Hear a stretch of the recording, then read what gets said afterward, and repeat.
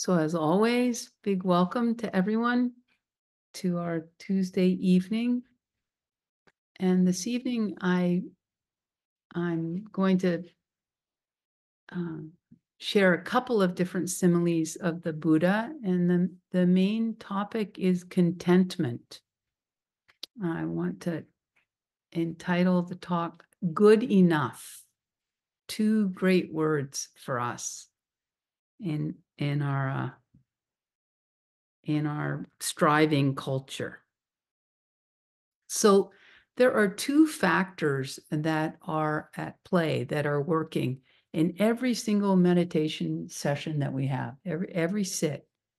And in Pali, these words are vitakka and vichara. And vitakka is the act of bringing the attention to the meditation object. And then vichara is its partner, and it's what takes over after vitakka. Vichara keeps the attention connected with the meditation object. And there's a beautiful simile in the texts to, to describe the these two factors of meditation. And as we become more skilled in our meditation and spend longer and longer of each meditation sit with the meditation object, this is because these two factors are gaining momentum, they're gaining strength. Uh, vitakka and vichara. So, this simile comes from uh, the questions of King Milinda. King Milinda was a, a Greco in, in Indian king in about a hundred BC. So, you know, sometime after the Buddha, three or four hundred years after the Buddha. And these questions of King Milinda obviously weren't to the Buddha. He was long, uh, long gone. Uh, they're to a, a monk, Bhante Nagasena. Nagasena, Bhante Nagasena. so King Milinda asks, uh, and this is from the questions to King Milinda, chapter 3, number 14. Venerable Nagasena, what is the distinguishing characteristic of sustained attention? This is the vichara part. This is the keeping it connected to the meditation object. Venerable Nagasena, what are the distinguishing characteristics of sustained attention? And the answer the distinguishing characteristic of sustained a- attention, Your Majesty, is continual continuity. And then uh, this is a theme in the questions of King Milinda. King Milinda goes, Can you give me an analogy? You know, can can you flesh it out? Can you give me a simile? Just as, Your Majesty, when a gong is struck and continues to resound afterwards, indeed, so the striking is to be understood as the applied attention. The striking is this vitakka, applying the attention to the meditation object. And the continuant continuance of the resounding as the sustained attention, as the vichara part.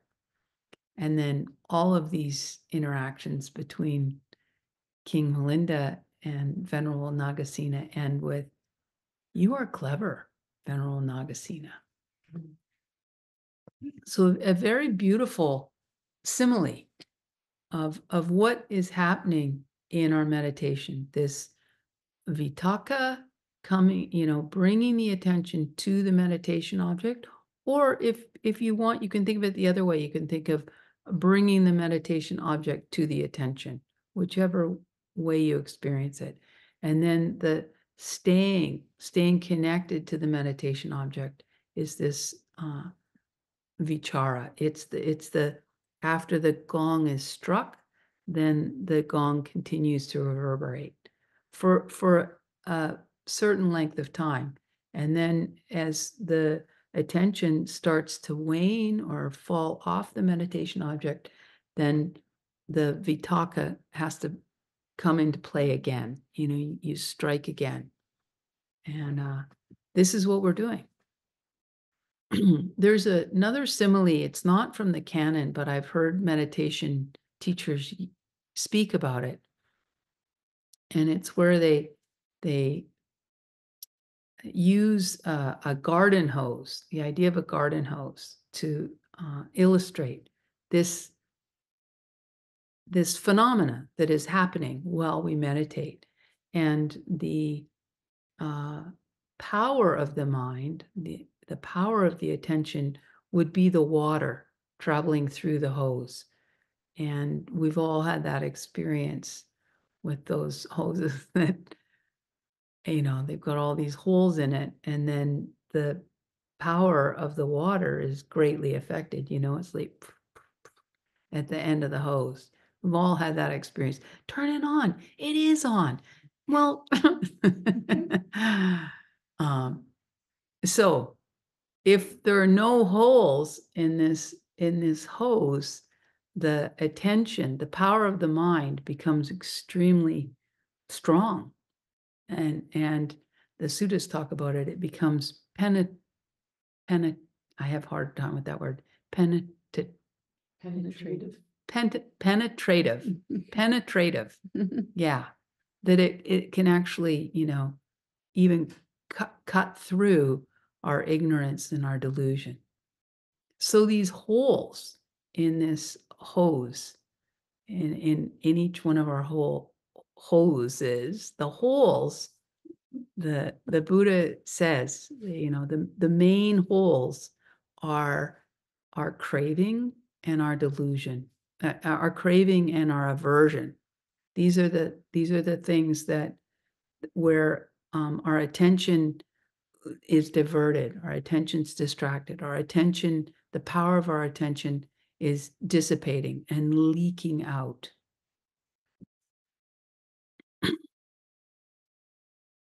these these two forces of craving and aversion. And aversion really is the flip side of craving. Uh, aversion really is wanting something else, wanting something different. Not wanting this is it can be expressed in wanting it otherwise, wanting something different.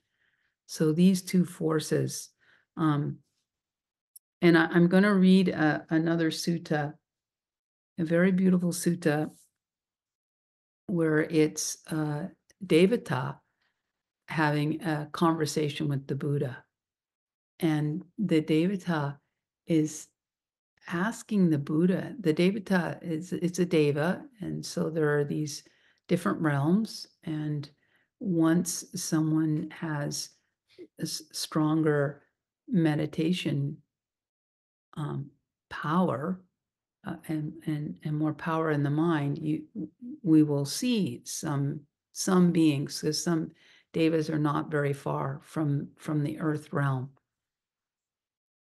So at Savatthi, standing to one side, that devata recited this verse in the presence of the Buddha. This is from the beginning of the Connected Discourses, uh, the first book, and it's Sutta number 10. And this Deva asks the Buddha, he the Deva is not understanding something. He says to the Buddha, those who dwell deep in the forest, living in the wilderness, peaceful spiritual practitioners eat just one meal a day. So, why is their complexion so serene? The Devata doesn't get it. They're they're living deep in the forest they're in the wilderness and they're eating one meal a day, and yet they they look grand. You know, they look fabulous and very well nourished.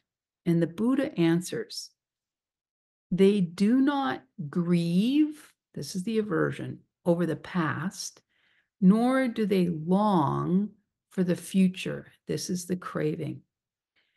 They feed themselves on whatever comes that day.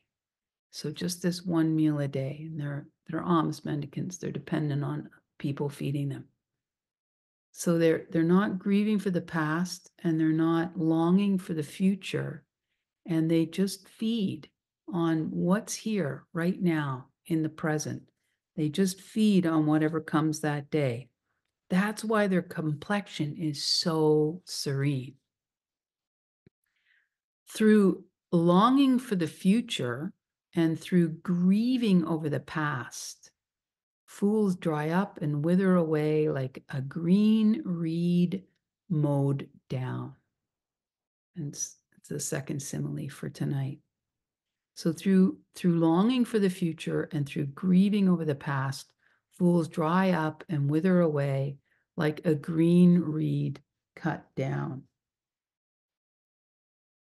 So these are these are the holes in in our our attention hose. It's it's a, a an aversion, a grieving over the past, and then a longing for the future. And just to unpack craving a little bit and this power, this force in each of our minds, this wanting, it is it is baked in delusion. And we we've all we all have really bought in. I mean, all of us that somehow if something changes in some way, I'll be ever so slightly happier. Like like we we operate from this mindset. We're always, you know, my most recent partner, uh, you know, before I became a nun, um, we did a lot of a lot of sense pleasure, and it was always we had. And now, what's the next fun thing? You know, we were always like the next, the next, the next, the next fun thing. Um, just sort of saturating ourselves in the next fun thing. But we we we this is very deep in our hearts that we somehow think like just when I get this finished, you know, I'm going to feel so good. Uh, uh, We can operate our whole lives that way. You know, when I I remember high school, just when I get this darn essay finished, you know, and handed in, and then, you know, when I graduate and when I get move out, and then when I get to university, and then and then when I'm with I was a music student, you know, and then when I'm with all music students and I'm with like-minded people, it'll be so fun and on and on and on. Then when I meet that special someone, you know, and then well, then when I have, you know, when when we finally finally proposes and we get married and then it, it blah blah blah blah blah and then we have the kids and and then and then you have the kids it's like when the kids get school age it's like eventually it's when the kids move out and then they move back in and then honestly they move out and then you want them to move back in. Like it just we're always wanting like over there. I, I remember that this really, really coming home to me when I finally started meditating, and it was so hard, you know, so hard at first. And I can remember I was at Birken and we were sitting, and it was just so quiet. Everyone was completely quiet. So I felt like I couldn't shift. And in my head, I'm like, as soon as the bell rings, I'll be so happy. And it just hit me like a ton of bricks. Like, no, like when the bell rings, not a lot's going to change. You know, I'll still be me. I'll still have my mind. I'll still have my body. I'll still, it, it, it, but we, it's wonderful if we start to really see how much we've, we really have bought into this, this next, next thing, you know? Um, even in meditation, sometimes I notice I'm leaning forward, you know, like the the next breath, the net, you know, waiting, waiting, waiting, uh, wanting, wanting, wanting. Uh, very strong force in in all of our minds, and it's it is really rooted in this delusion, and it's great if we start to see it and start to stop believing it, you know, just just notice it when it's there and really see it for what it is. And and uh stop believing it as strongly. Every every bit that we can chip away is so useful, so helpful uh, uh, for, for every part of our lives.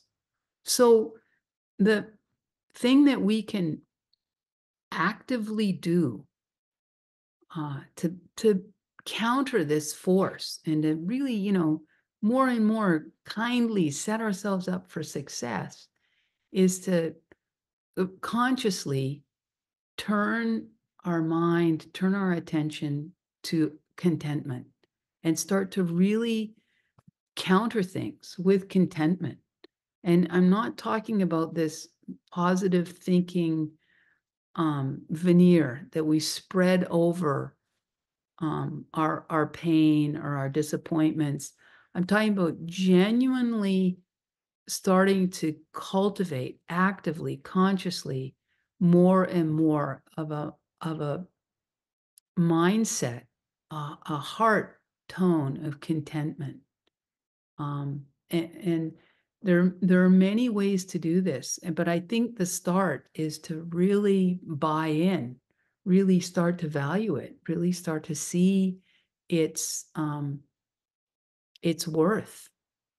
A- And, the Buddha really speaks a lot about contentment.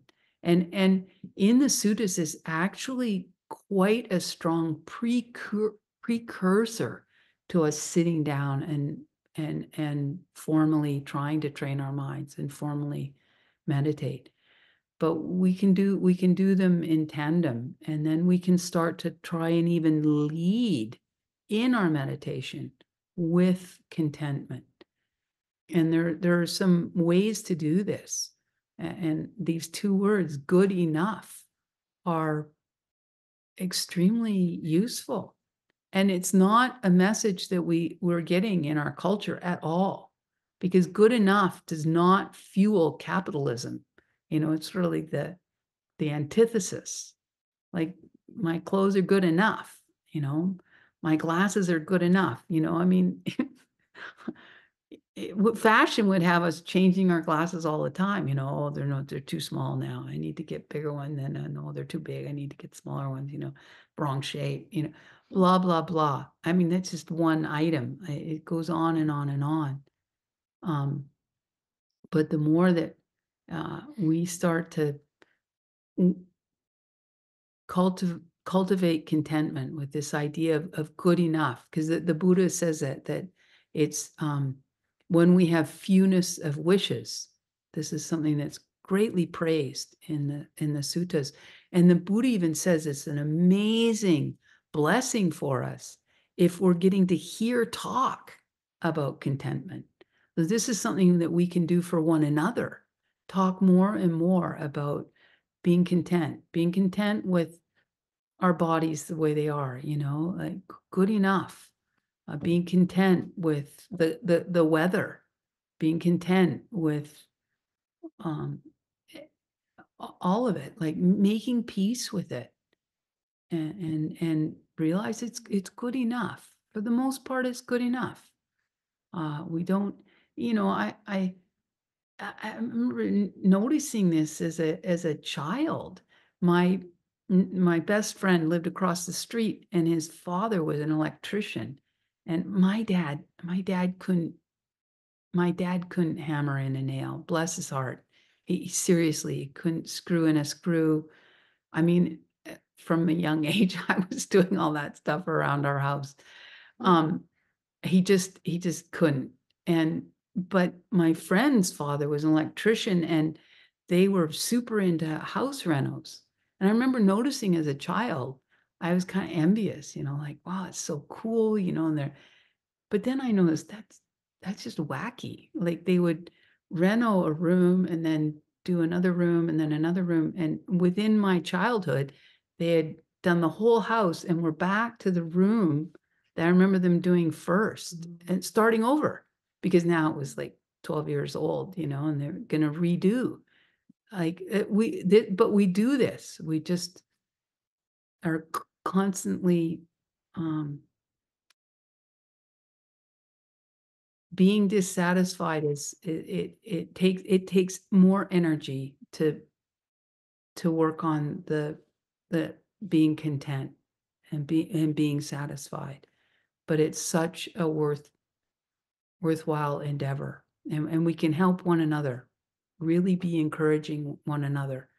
N- not you know this unempathetic listening like you know brene brown has a really good uh, short clip on youtube about uh i think it's about empathy and like we need we need to also have empathy. So if someone is actually struggling this is this is also important. I mean i don't mean to the buddha's teachings are nuanced right? And and you talk about contentment it doesn't negate all the other things. Brene brown's thing that this is this is not empathy and this is not contentment.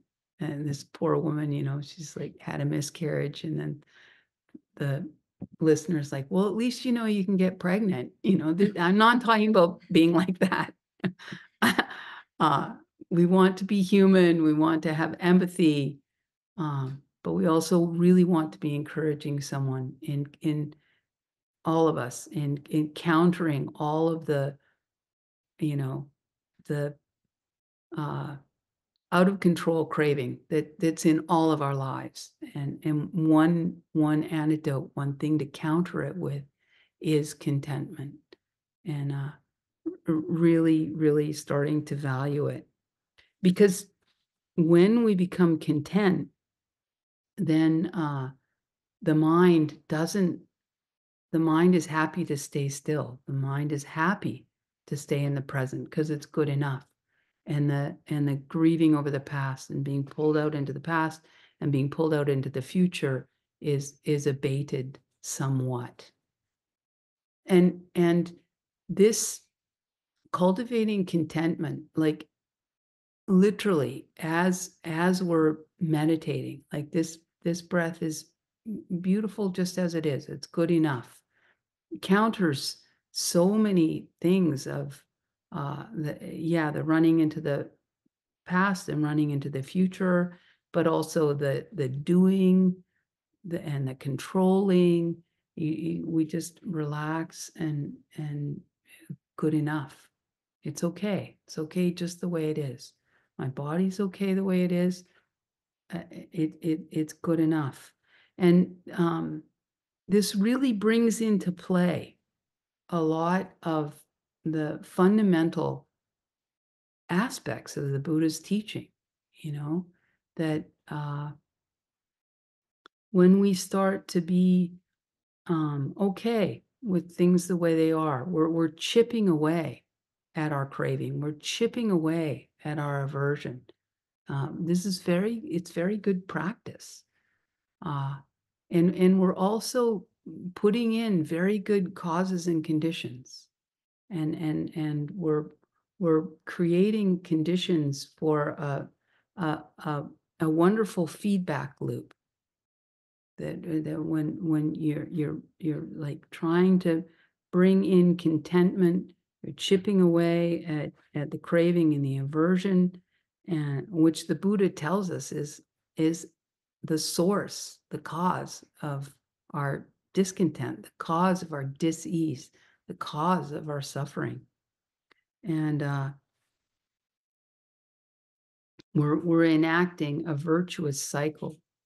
Um, just just just circling back to this beautiful sutta where the the Buddha is explaining to the to the Deva that um, when we're when when we're we're content and we're just here, right here, right now, with this breath, not running off into the future, not running off into the past what happens is that we feed on whatever's there, that it starts to become nourishing to us.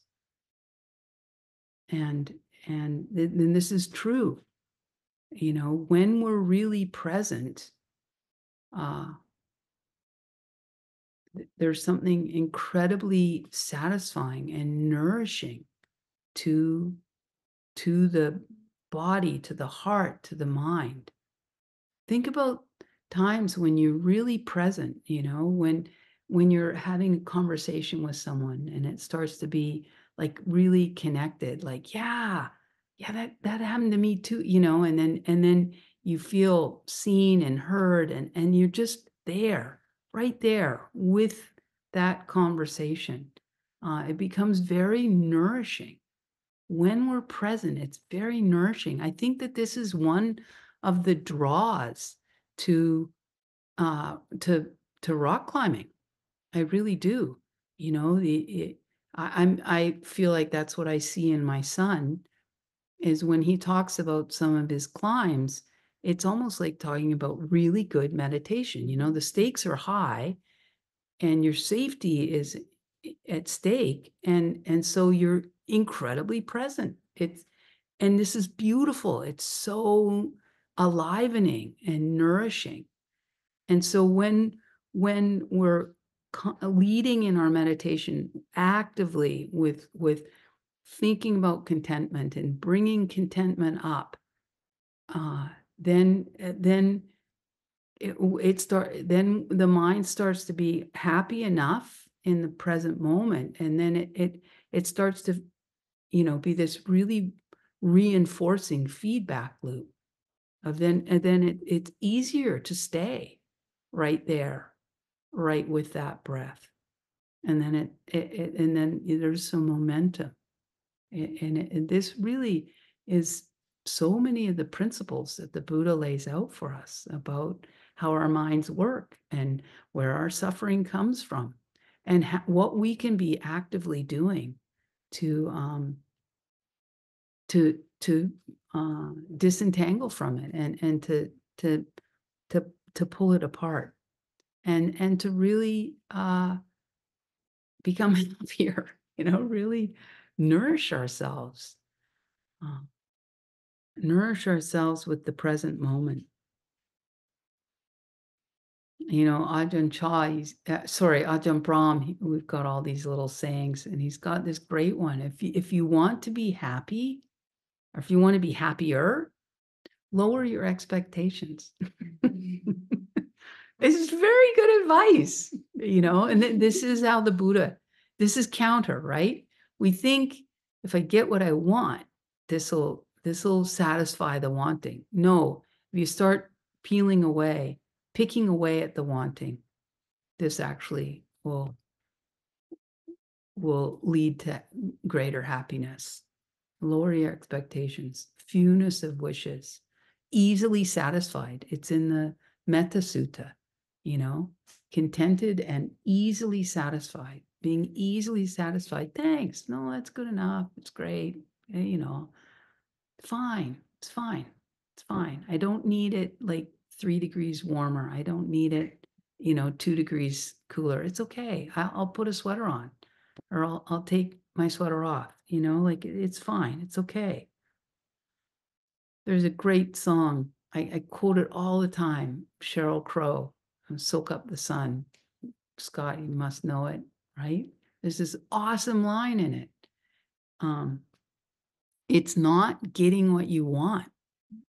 It's wanting what you've got. This is the secret to contentment. So much wisdom in in that line and something that we can all really really take to heart um, it, it will benefit us greatly. It's not getting what you want. This is what we this is the bill of goods we've been being sold our entire lives and we've all tried it. It's a strategy we've sort of all operated from. If i just get what i want you know? It's not getting what you want. It's just it's just wanting what you've got right here right now good enough. It's like two of my favorite words you know it's good enough. Yeah. And uh this will be this will be deeply nourishing for us and our complexions our complexions will become mm-hmm. serene and then the Devas will be saying, Hey, that's amazing. Did you see that group in Canmore? you know, it's not like they've got, you know. Yeah. Yeah. So may it be so for each and every one of us.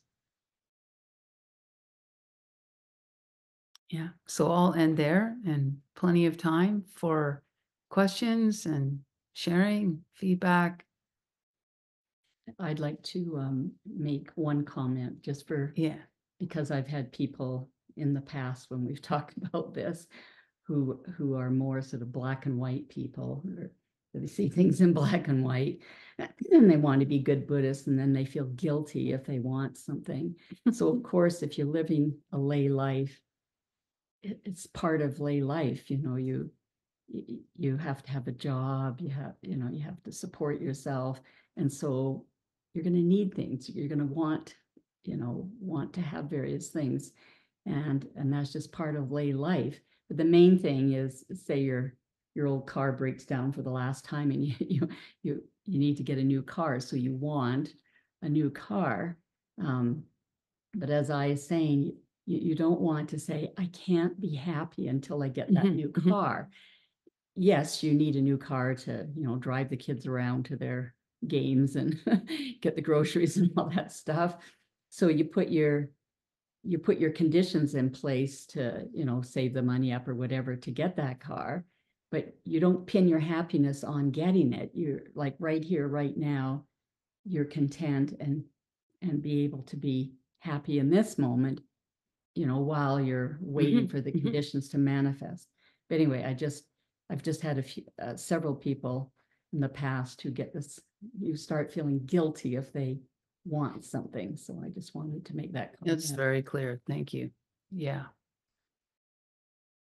Ronnie, please. And would be watching this. These, uh, this YouTube channel, this guy in the, in the west des- desert in Texas. Trying to build a forest. So he's got all these techniques and he's trying to build the landscape. And I was thinking, well. He's always gotta look into the future. How am I gonna do this? Oh, this failed. But I gotta do this. You, you know, so it's kinda like.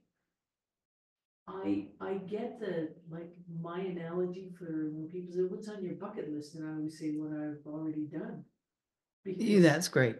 uh, cause it's just impossible. It's Yeah. like, I'm not gonna get up Everest, get real. Yeah. You know, so it's kind of like, oh, I got a Bourgeois or whatever I did. Good, you know, it's like, it's beautiful. But when it comes to those things like those planning events. I don't know how you can be content, like, you know, at one point he spread three hundred and fifty kinds of seeds or seeds. In this one project and not, not one germinated. It's like, mm, how do you? I mean, I get what you're saying, but in reality, I'd be pissed. Well, I think, I I mean, he understands, I'm sure he understands what he's working with. You know, of course, we're planning, of course.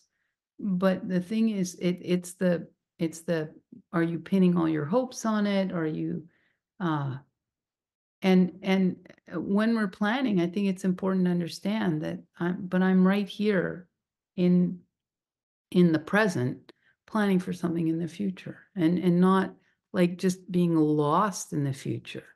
And, uh, when you take on a project, uh, Cause the It- project is, it is the future, the project is having, for this guy, having. A forest in an area that's, this is, he's trying to change the climate. It's like, holy shit, talk about putting your money where your mouth is. Well, more power to him, but I'm I'm sure he knows what. I- I'm sure. Um. I mean that that just is the way. I at the monastery I lived at in, in Ontario, we planted I think 600 trees. Um, I think there's a couple of them left. Yeah, and we were, oh, we worked so hard and watering, watering, watering, you know. It's good, you know, we tried. And there's a couple of trees. Only, Yeah, yeah, it, it- but you, you, I mean, other people that have, yeah, He's having more success than you guys did. That's No good. There. It's like, what good. the heck? Okay. Yeah. anyway. Caleb, What are the practical ways that Buddhists foster contentment? I think with working with um the uh working with the delusion that if I get what I want, then I'll be happy.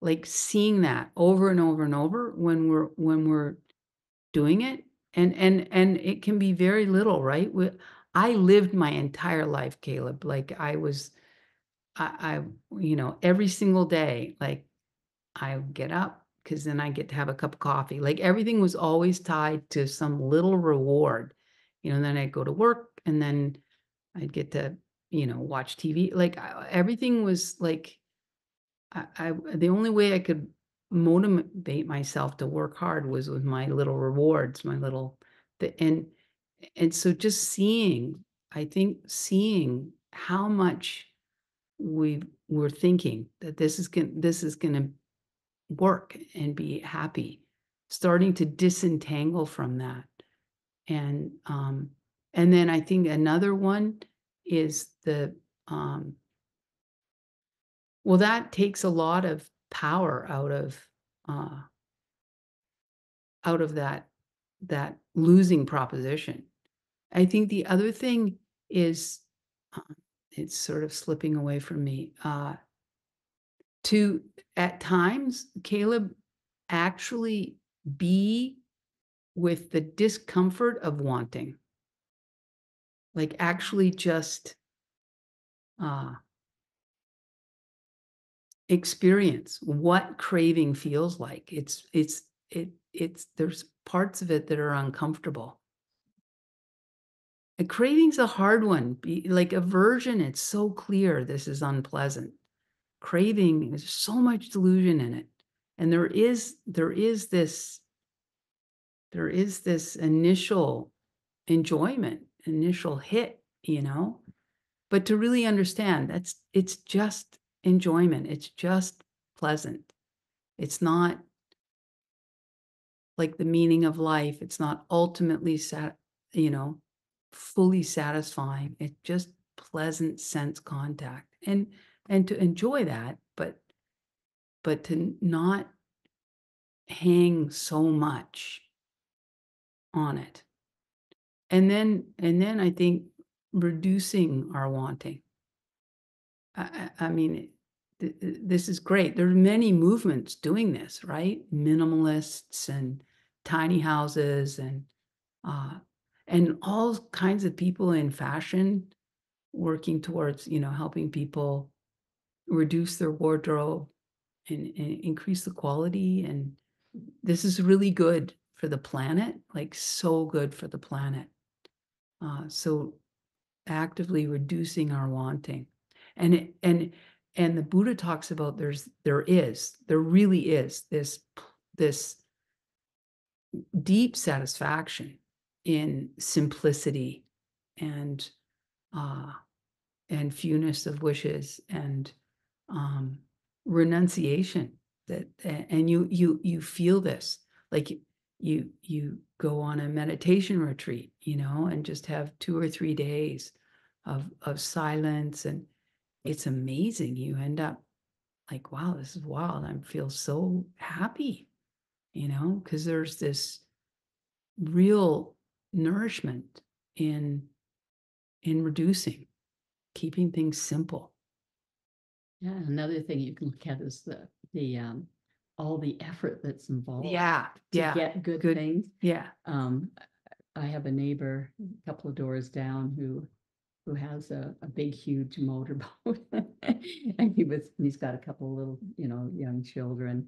And, um, and he was just telling me he, he- how much work it was to get this boat to the lake and in and all, all the whatever, I've never had a, a boat like that, so I don't know, but anyway, he, he was bemoaning all the effort it took to set this boat up and get it in the water, and then what he had to do when he took it out or whatever. Um, yeah, so. Uh, That's interesting, I, um, when you said bucket list, because today. I was thinking my bucket list is diminishing, not because I'm checking off, that I've done everything, but realizing I don't need Mhm. to do them. Mhm. You know, what's the point, but what do I want out of it? And it Mhm. just, it just struck me, I, yeah. It's easier maybe for me because I've done a lot, and people here are a lot younger and you're going through the Mhm. of family and working and things like that, but it just, yeah, it just struck me. Yeah, yeah, it's diminishing, it's getting less and less. Scott and then Ellen. I noticed on the website that you're giving a talk next Thursday night in Calgary. Can you tell us what the topic is? Um, it's on becoming your own best friend. So is it similar to the one that's on our YouTube channel? S- Little bit. Yeah. But better, be better. Except it won't be recorded, so there is one recorded by Ayya that's, that was done a month or so ago. It's Mm. on our YouTube channel. No, it's long, it's oh, super old. I was in a local Vihara when I gave that talk. Ellen, Are there any teachings around contentment and giving to others? Because I often find like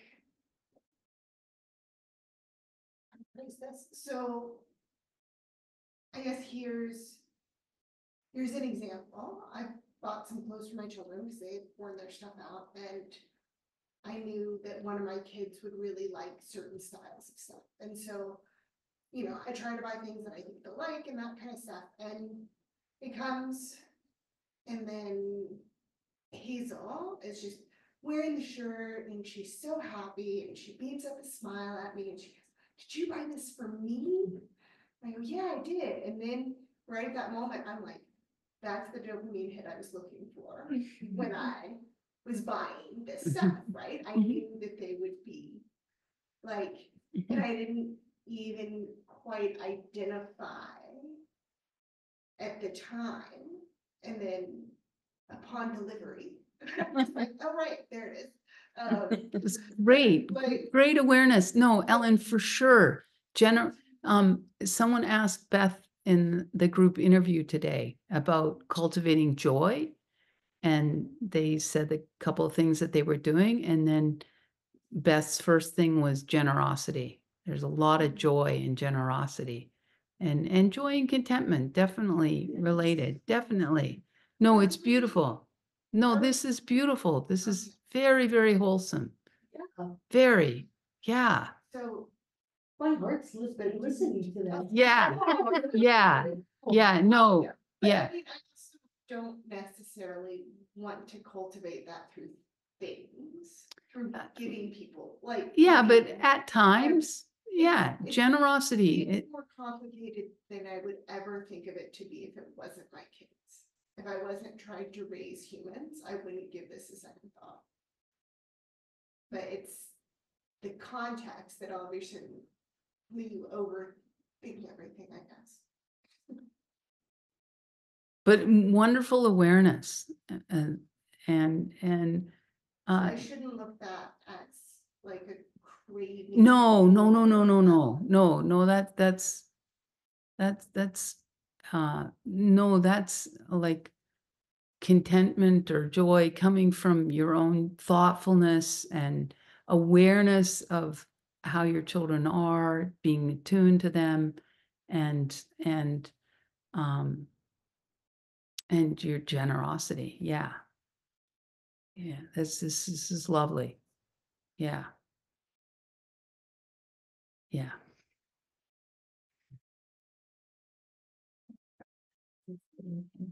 Yeah. It's so rare. that it's Probably. Leave such joy. Yeah. Well, she never, they never get me. Yeah. I always give them the hand downs because they tear holes in them so fast. Yeah, and even that, you know, it, it, I think is very special. Um, yeah, that, uh, it was the same, right? You know, I was extremely poor when my kids were little and they, so, but I feel like there was great benefit for them because then when they did get something, they really kn- knew how special it was. And, um, and they took such good care of their stuff. You know, yeah, it were many good qualities, I felt like. Yeah. So even that, honestly, I think it's great. Your kids don't get tons of new clothes. And then when they do, it's very special. Oh, for sure, but it kind of, I guess, maybe we're actually moving away from the original question. It would be the same, like the question was more around giving things to others because you know it's gonna make, like, suddenly realizing that you gave it to them as much to make them feel, you to feel good as to make them feel good. This is a hundred percent fine. Yes. That's, That, yeah, that's really clear in the Buddha's teachings that we're actually supposed to reflect on our generosity. And we, this is even something we can do when we're down. Like, oof, something, you know, is hard. This is, this is a particular meditation to, to, to uplift the mind and, and to, and to feed contentment. Yeah, this is, it. the Buddha wants us to be virtuous, but then to really enjoy our virtue. And in with generosity, there's uh, passages where the Buddha talks about that you can bring up a lot of joy thinking about, ah, you know what, I'm gonna make X, Y, and Z for so and so because I know they'll really like it. Even the planning of it is a place where we can get hap- get happy. And then when we give it, and then remembering like and and to do it often it it's so like it it's very different than. Some other teachings but it's so wholesome that we're supposed to really really be into how good we are. Mm-hmm. Super be jazzed by it. It's so great. And then and then see the wholesomeness in one another and reflect it to them encourage them with it you know? Yeah. You're teaching your kids how to give too. you know, all of it. yeah yeah totally. They see how, it- it's like, oh, that's the right response. I could be happy about giving it to somebody else or whatever. yeah oh It's yeah, like, oh, it's Yeah. just wonderful. absolutely I feel like kids are naturally good at giving. they are they You give them are So much heart, you start to drown. They're kids so excited to get a i know i know it, it, it there's i- when you're around children you see how there yeah there's so much goodness very naturally very very often incredibly empathetic attuned yeah. Beautiful. Great question ellen because yeah. Yeah. Okay we're at we're definitely at time. Okay what week are we on? We're gonna do compassion. Okay, we're in the second week of the month. Is that where's the hook? It's probably in here on top of, Yeah, yeah. Because we m- m- moved this, that's why. Okay, great. Thank you, Samantha.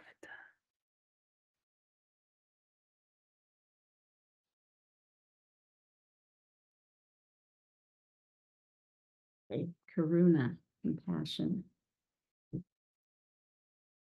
So first of all, bring to mind someone you know who has great physical or mental suffering.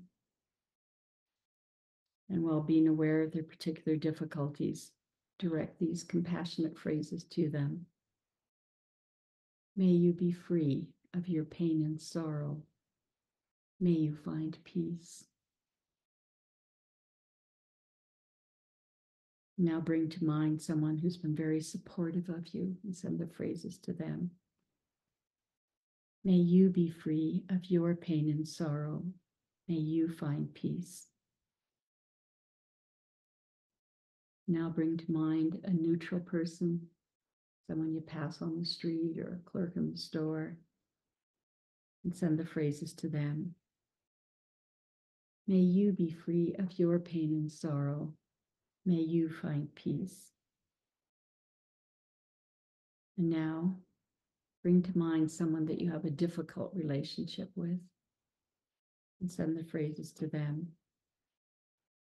May you too be free of your pain and sorrow. May you too find peace. May all beings be free of pain and sorrow. May all beings find peace. Remember that all beings face great potential suffering, no matter how fortunate their immediate circumstances may be. This meditation does not eliminate suffering. What we are doing is being able to acknowledge suffering, to open to it and respond to it with a tenderness of heart, which allows us to join with all beings and realize we are never alone. May the merit of our practice be shared with all beings, named and unnamed.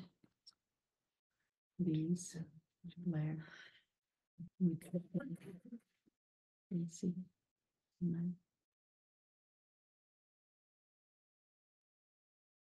May all beings be well and happy.